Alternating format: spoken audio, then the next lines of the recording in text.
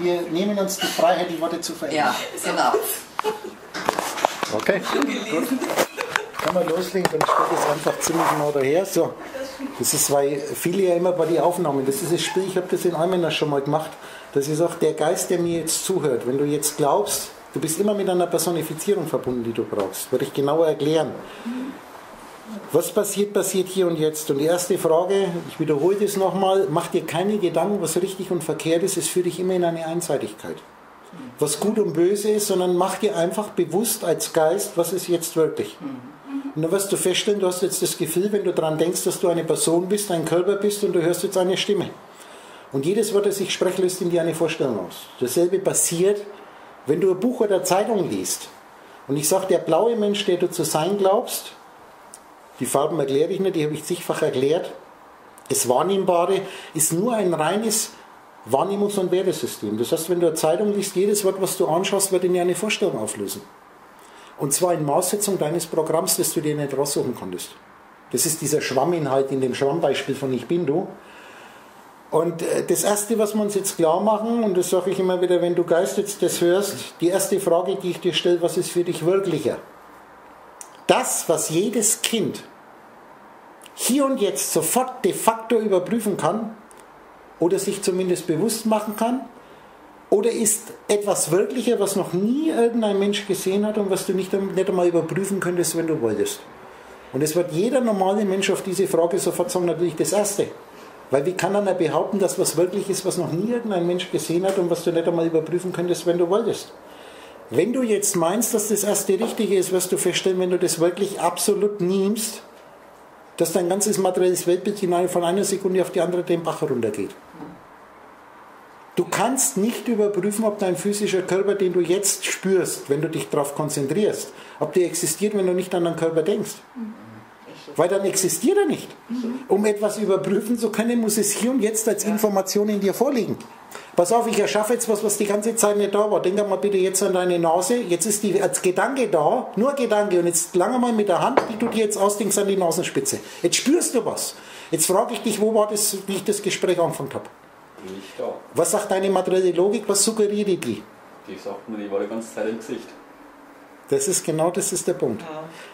Jetzt kommt der Satz, wo ihr so oft vom Udo gehört habt. Ihr seid vollkommen logisch, aber nicht geistreich.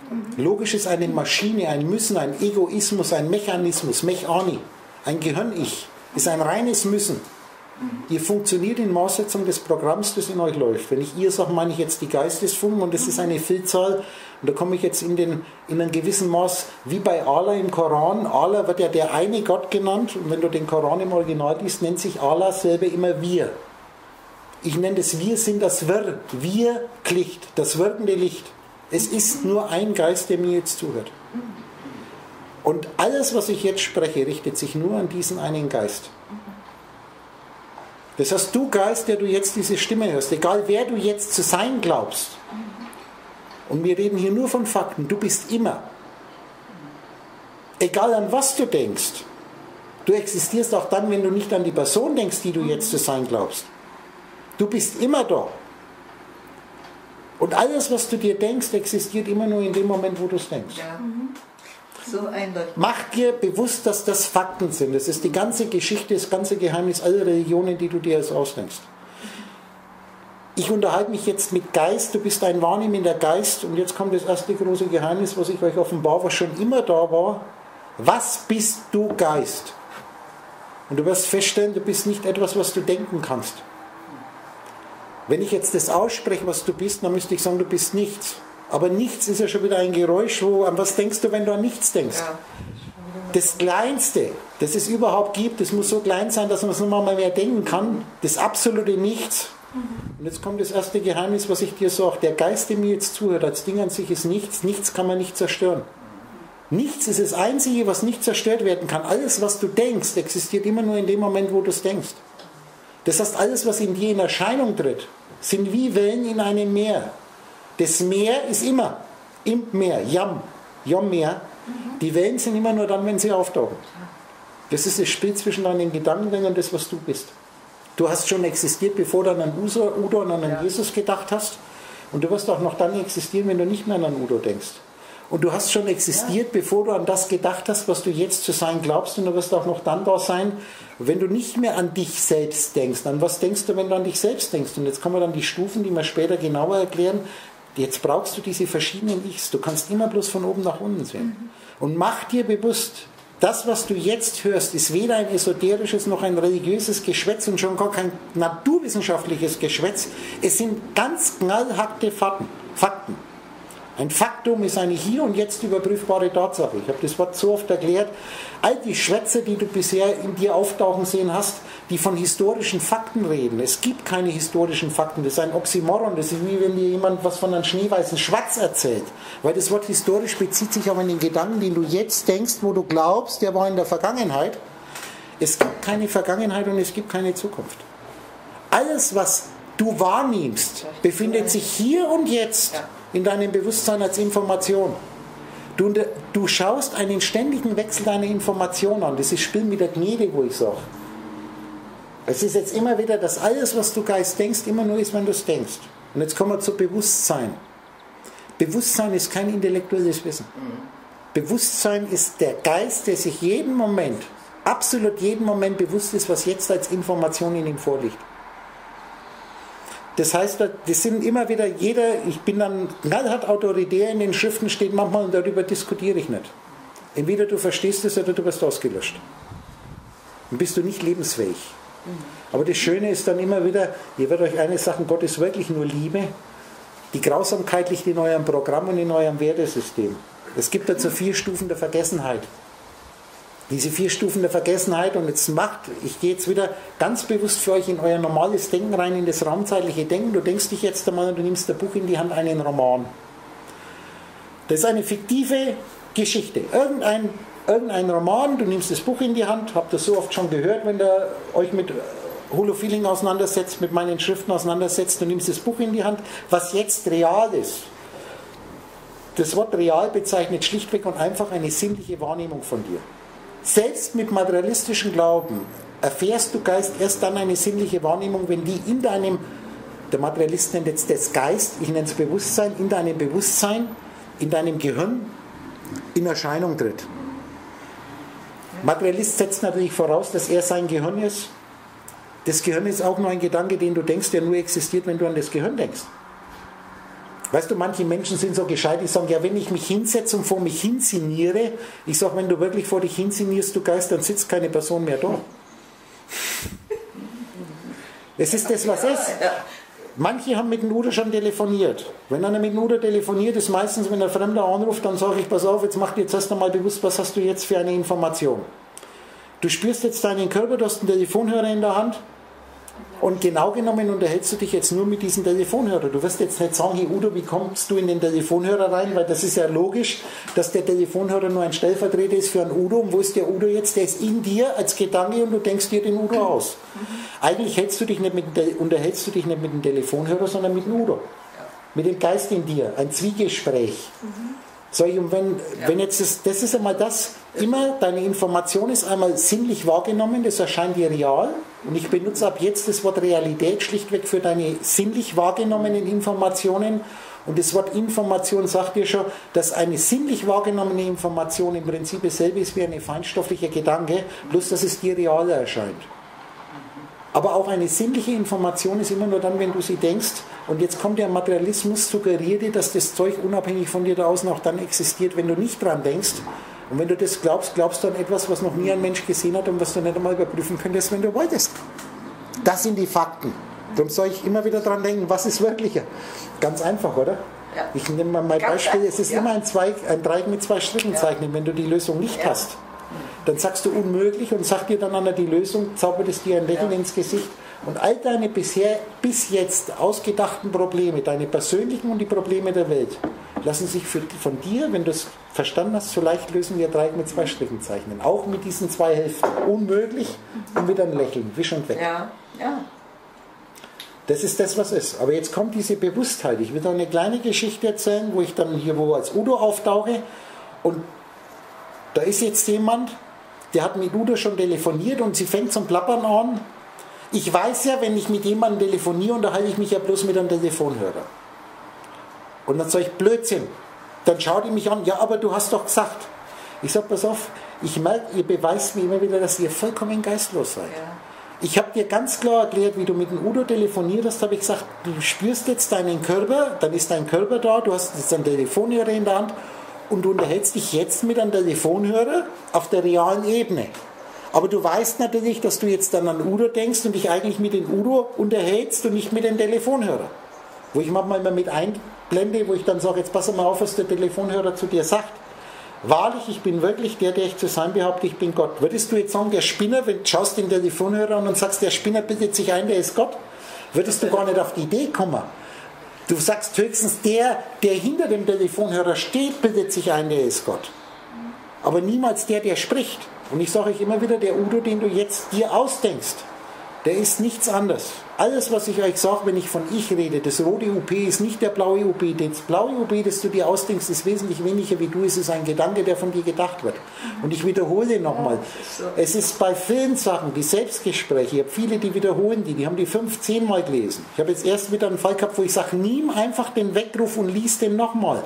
Und wenn es dir einmal aufgeht, wirst du feststellen, da wird in ganz einfachen Worten gesagt, was die Wirklichkeit ist. Was ist jetzt der Schreiber? Du hast jetzt eine Schrift in der Hand, wo kommt die her? Die kommt aus dir.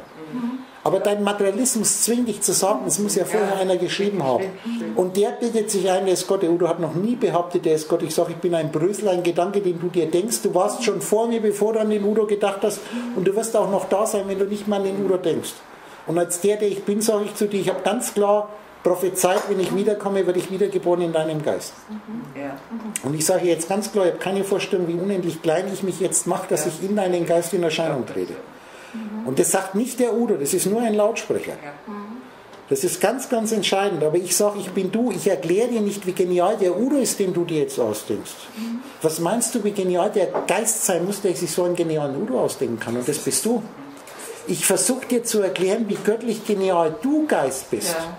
Und ihr wisst das Sprichwort, alle die reden, die wissen nicht und alle die wissen, die reden nicht, das ist ein klares Zeichen, dass der Udo, der jetzt zulabert, überhaupt keine Ahnung haben kann, weil der redet in einem fort. Bloß das Problem ist, der Udo hat so viel Bewusstsein, dass er überhaupt nicht behauptet, dass er was weiß. Ich rede nicht. Ich mache das folgendes, ich nehme dich, kleinen Geist, und lass dich, kleinen Geist, jetzt dieses Gespräch träumen, indem dich in deinem Traum der Udo zulabert. So läuft es. Nicht der, der redet, hat die Ahnung, sondern der, den des Geistes reden lässt, der den, der redet, austräumt. Und das bist du. Nicht der Udo, der redet. Der Udo ist eine ständig wechselnde Erscheinung in dir. Du bist das konstante Parameter. Du existierst auch dann, wenn du nicht an den Udo denkst. Und ich sage jetzt zu dir, ich bin du, du hast es bloß vergessen. Ich bin das, was du sein wirst, wenn du aufgehört hast zu glauben, das zu sein, was du jetzt dein Leben lang zu sein geglaubt hast. Was mir manchmal passiert, ist, dass ich so, so wie soll ich das sagen, von, von meinen eigenen Gedanken dann so einen Schreck bekomme, um das mal so zu formulieren. Weil, Und da muss einer da sein, dem das bewusst wird. Ja. Das erkläre ich euch noch genauer. ja. Aber wir kommen, wir kommen zurück hier wieder auch mit dem, ich weiß ja, wenn ich mit jemandem telefoniere, dann unterhalte ich mich bloß mit einem Telefonhörer und ich sage Blödsinn. Wenn du in deinem Alltagsbewusstsein einen Anruf kriegst von einer besten Freundin, dann ist der Telefonhörer nur für einen Hauch da, wenn du auf den Hörer drückst und in dem Moment ist weder dein Körper noch dein Telefonhörer da, dann bist du quatschender Geist und unterhältst dich mit einer ausgedachten Figur in deinem Bewusstsein, wobei du in dem Moment, wackel mal mit deinen Zehen an den Füßen, wackel mit den Zehen an den Füßen, wo waren die jetzt die ganze Zeit? Das ist die Wirklichkeit. Das Einzige, was immer da ist, ist der Geist, der mir jetzt zuhört und dieser Geist ist unpersönlich. Das ist das rote Ich Bin. Wir werden da später genauer darauf eingehen. Ich muss immer wieder die Sachen, wo ich euch mit Sprache erzähle, muss man nicht wissen. Es geht zuerst einmal schlichtweg und einfach nur darum, was bin ich selbst. Und ich muss mir eingestehen, ich bin eigentlich nichts. Ja. Das ist das Schöne, wenn das ist jetzt für Materialismus, ist, wer will schon nichts sein. Aber ich sage, wenn du nichts bist, musst du keine Angst haben, dass du verloren gehst, dass du zerstört hast, weil nichts ist schon nichts. Ja, ja. Darum sage ich auch definitiv, die Kleinsten sind die Größten. Weil nur dieses Nichts, dieser Geist ist zwangsläufig alles, was er an der Oberfläche als Formen aufwirft. Nur wenn du das Nichts wirst und alles, es gibt nichts und niemanden, den du dir denken könntest, der verstehen kann, was Geist oder Bewusstsein ist. Roter Geist jetzt.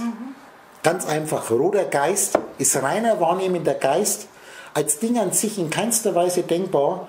Bewusstsein kannst du nur sein. Es gibt nichts, was du denken könntest, was Bewusstsein haben kann. Das hast du nicht bewusst haben, sondern bewusst sein. Was jetzt entscheidend ist, dass immer wieder, wenn du mal dein intellektuelles, geschwätziges Wertesystem beiseite schiebst, was du feststellen, du Geist, der du mir jetzt zuhörst, soweit du dich nur auf dich selbst konzentrieren kannst, mach dir zuerst einmal klar, könnte ein Auge sehen, kann das Auge relativ alles sehen, bloß nicht sich selbst. Könnte ein Ohr, das wir uns jetzt ausdenken, hören, kann das Ohr alles hören, bloß nicht sich selbst. Und genauso ist es mit dem Geist. Der Geist kann sich alles denken, bloß nicht sich selbst. Das ist der blinde Fleck. Ganz einfach, weil das eigentliche Geist nichts ist. An was denkst du bildlich gesprochen, wenn du an Geist denkst? An das Wort Geist, an das Geräusch Geist? Es ist auch dasselbe ist Gott. Die Diskussion, ob es Gott gibt oder nicht gibt, ist so unendlich geistlos, wenn ich weiß, was Gott ist. Gott ist die Substanz von allem. Gott ist immer El Hayom, Gott das Meer. Wir können das Spiel jetzt als Symbol gesprochen. Und was es ist immer der Geist, du bist immer derselbe Geist, du warst schon immer derselbe Geist. Problematisch wird es, wenn du das vergisst, was du bist und du verwechselst dich mit einem derzeitigen Programm, mit einem derzeitigen Schwamminhalt, dann bist du der blaue Mensch, das blaue Ich und dieses Ich suggeriert dir Geist jetzt, ich sehe doch, dass ich älter geworden bin. Ich mache das immer so mit einer Faust der rechten Hand, wo ich sage, das ist das große blaue Ich, der Mensch, ich. Und dieses Ich behauptet, ich sehe doch, dass ich älter geworden bin. Das kleine, dieses zweite Ich, nenne ich die Persona.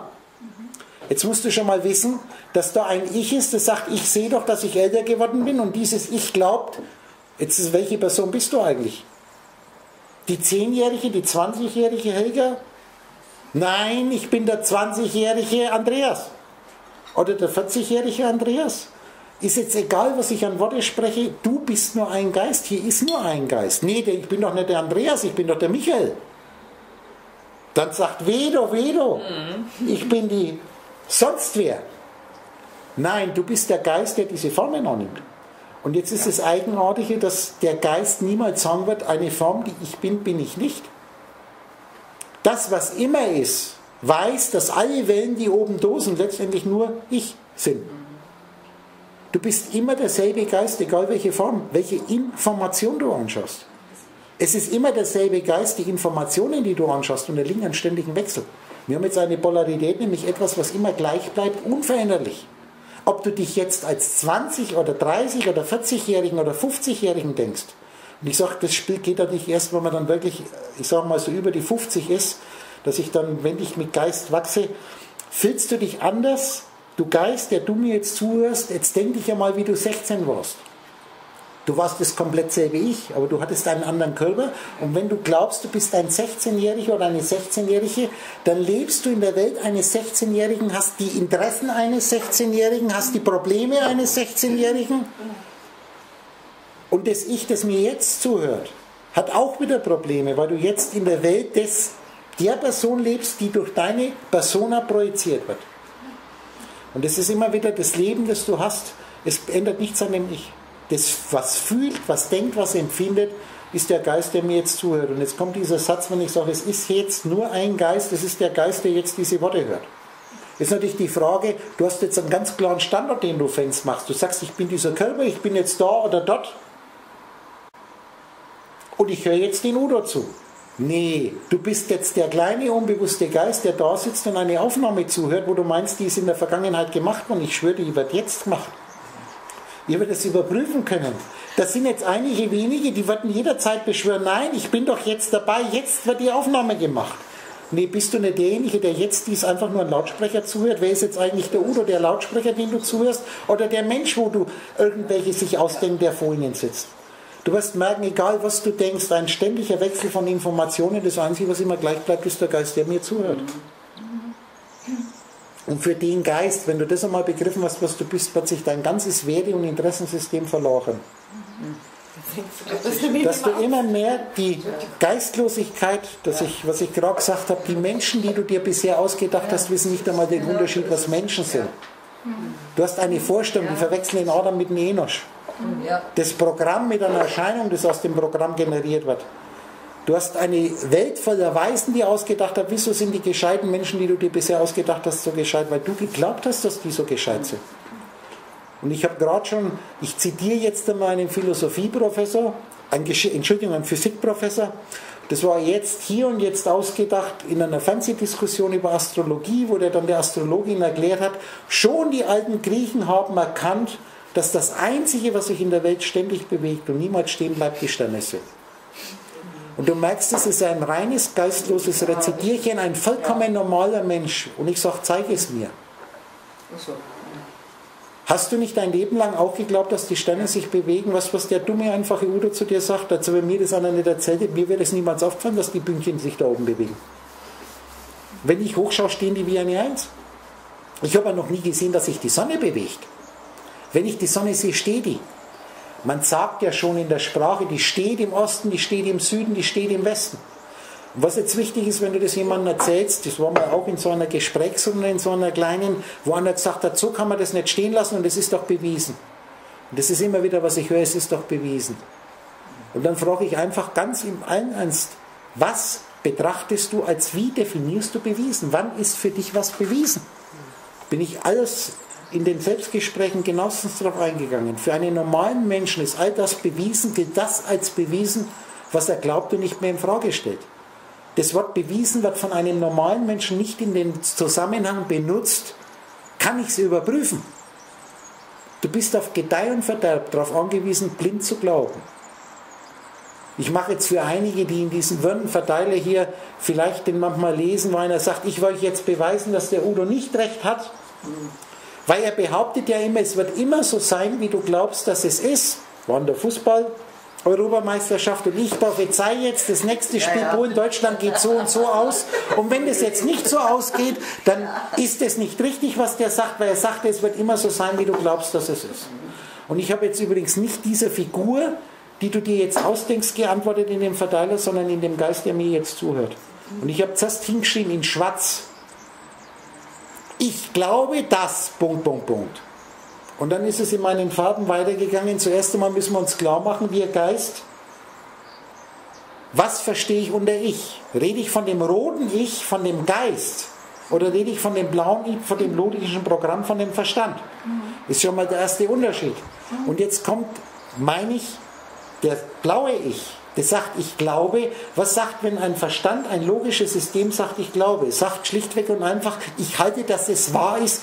Ich glaube, dass es so und so ist, heißt, ich halte es für Wirklichkeit, dass es so und so ist. Das ist meine Wahrheit. Ich glaube, dass ich mich auf einer Kugel befinde, die sich um die Sonne rumdreht. Ist doch vollkommen logisch, ist doch bewiesen. Jetzt ist das Problem, frage mal einen und sagt, zeig's mir. Ich möchte es sehen, ich möchte es nachvollziehen. Du kannst mir auch erzählen, ich befinde mich hier auf einer Erdkugel, die im Zentrum steht und um mich herum dreht sich der Mond oder die Sonne oder sonst was oder vielleicht sieht die Erde aus wie ein Käsewürfel oder es ist eine Scheibe. Ich sehe was, das ist das, was ich jetzt sehe. Was darüber hinausgeht, ist ein reines Konstrukt, eine Vorstellung. Also gut, zeig, beweis es mir, dass die Erde eine Kugel ist. Wenn du sagst, das ist bewiesen, dann wirst du feststellen in deinem Traum, jede Figur, die dir das beweisen will, die zieht ein schlaues Buch hervor und klappt es auf und sagt da. Und ich sage, pass auf, ich sage dir, was jetzt Realität ist. Ich sehe jetzt ein Fetzen Papier, wo Farbe drauf gespritzt ist und da ist ein blauer Fleck.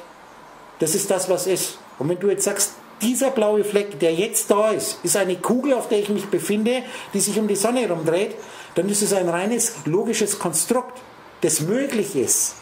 Aber es ist kein Faktum, was ich hier und jetzt überprüfen kann.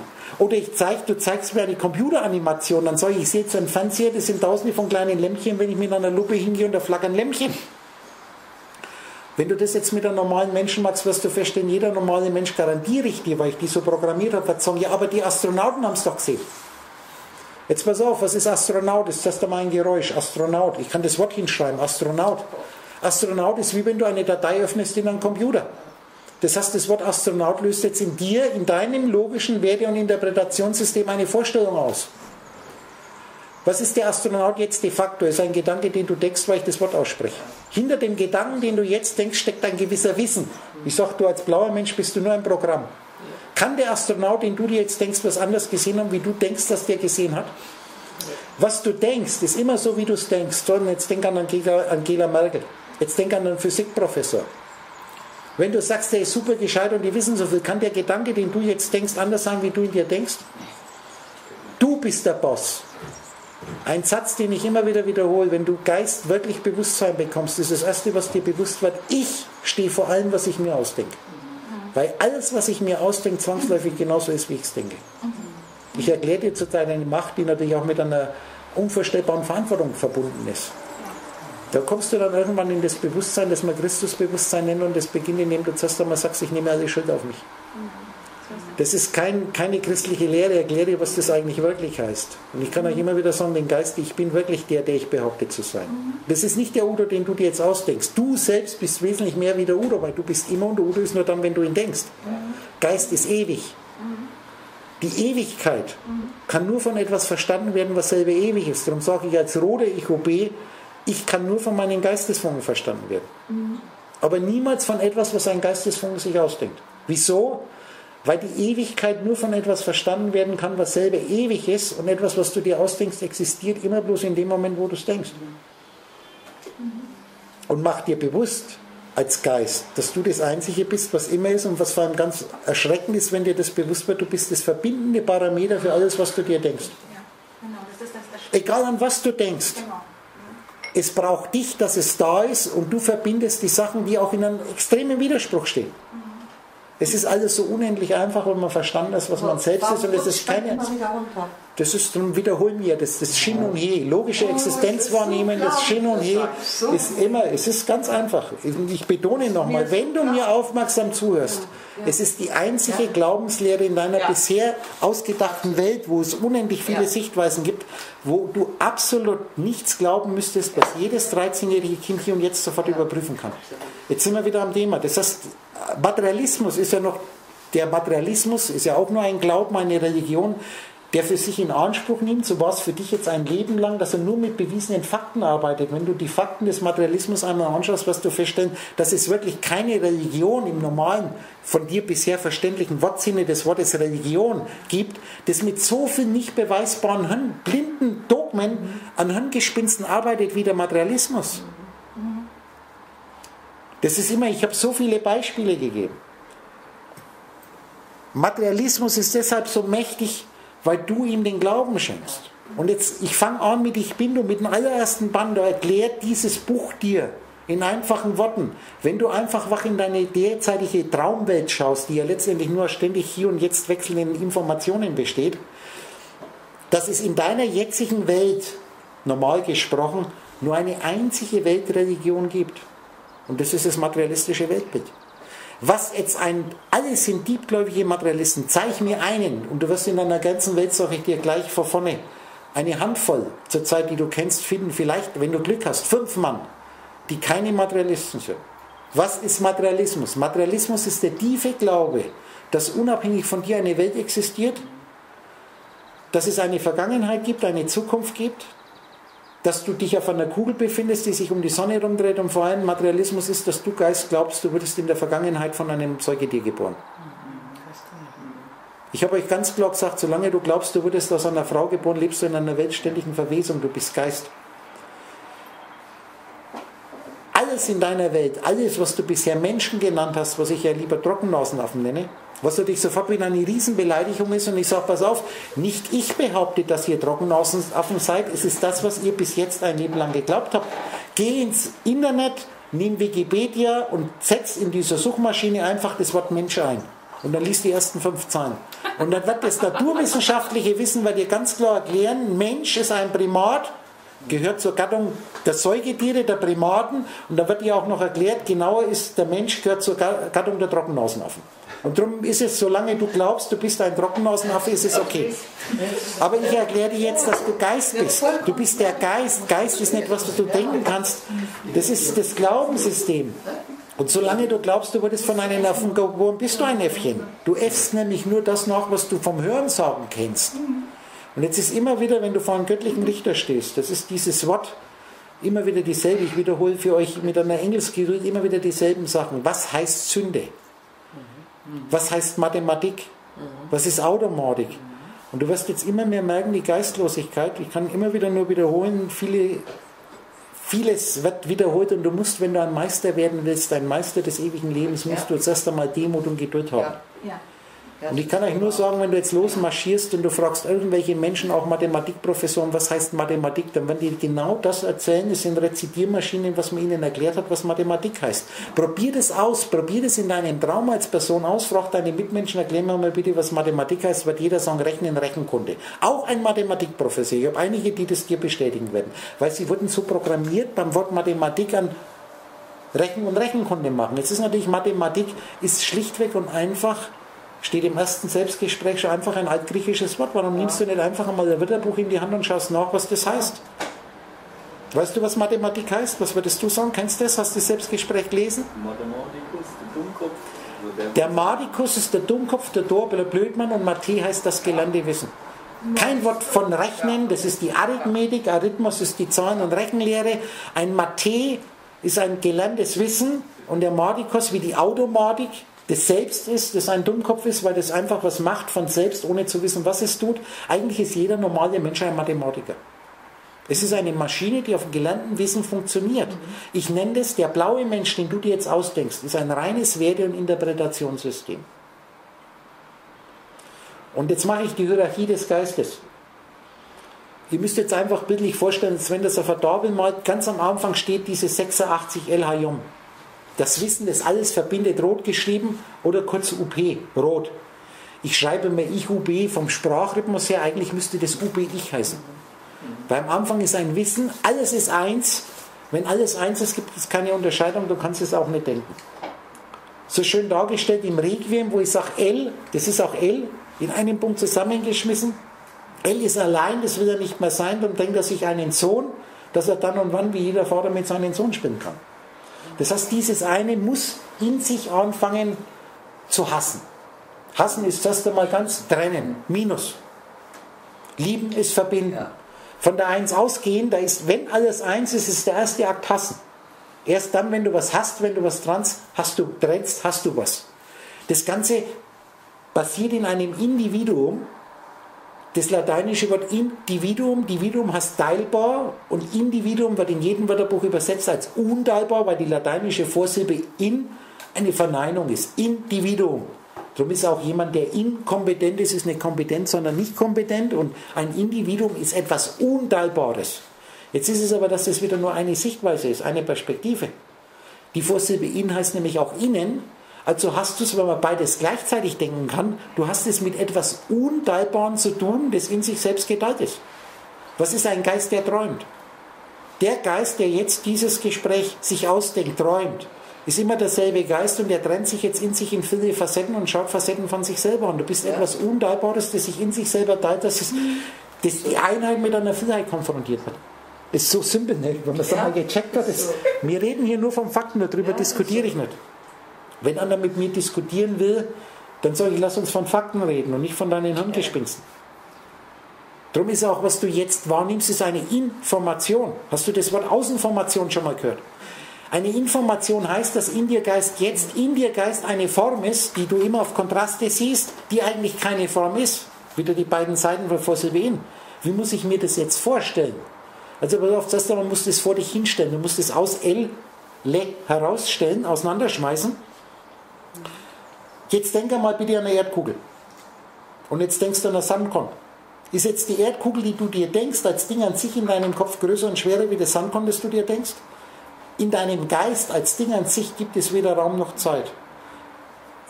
Das, was du dir ausdenkst, hängt davon ab, wie du dir es denkst. Qualitativ wie quantitativ.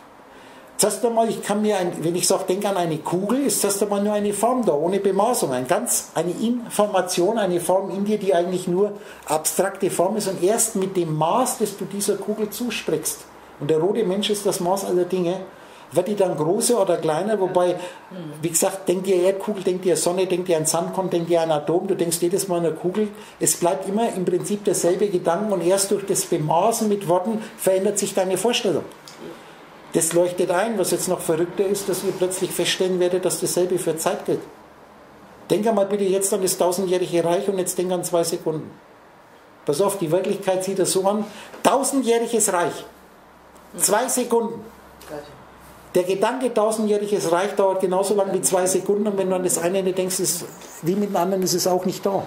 Es gibt bloß jetzt. Stimmt oder stimmt?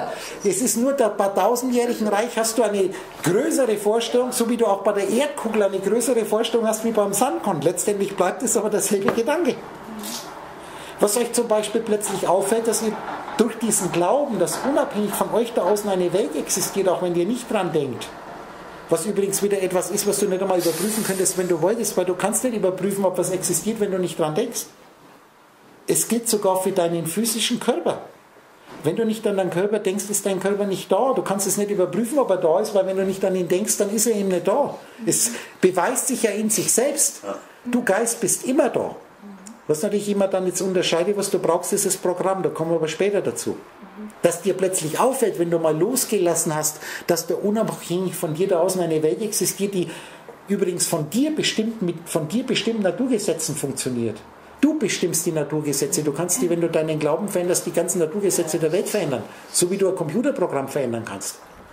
Ich führe euch in eine Welt, wenn ihr mir folgt, ich kann euch nur die Tour aufmachen, die ihr euch in den Künstenträumen nicht vorstellen könnt. Und die wird realer werden wie das, was ihr bisher real genannt habt. Was mir wichtig ist, bisher habt ihr geglaubt, dass eine Blüte, eine Blume nicht so lange existiert wie ein Haus und ein Haus nicht so lange existiert wie ein Berg. Eben weil ihr diesen Fehlglauben hattet, wenn du einfach dich darauf konzentrierst, was die Wirklichkeit ist, wirst du feststellen, dass eine Blume genauso lange existiert wie ein Berg. Ja. Nämlich solange du an die Blume denkst oder die anschaust und wenn du die nicht mehr anschaust, ist sie weg. Und wenn du einen Berg anschaust, ist er da oder an ihn denkst und wenn du nicht mehr dran denkst, ist er weg.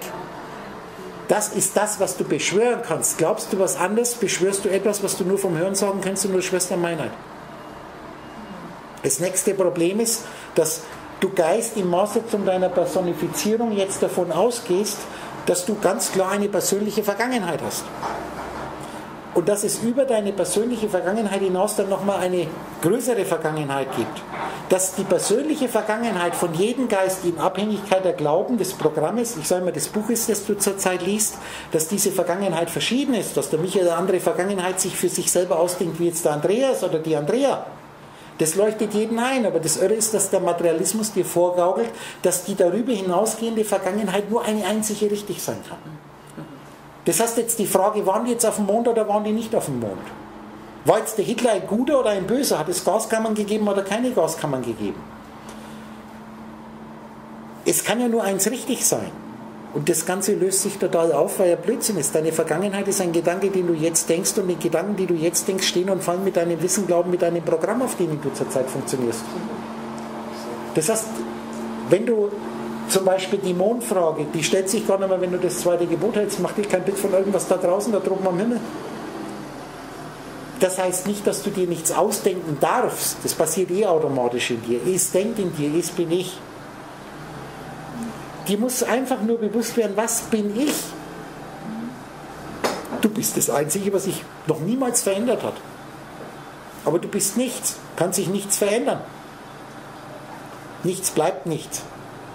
Aber nichts wiederum, wenn du ja nichts denkst, brauchst du immer die Einheit, braucht eine Vielheit. Und jetzt komme ich nochmal zu den UB zurück. Ich mache jetzt eine einfache, normal male ich eine, eine Reihe. Das stellt euch jetzt vor, bildlich auf einer Tafel. Ich mache rot UB. Willst du malen? Du hast eine Tafel. Wir haben sogar eine Tafel da. Was ist? Ja, na klar.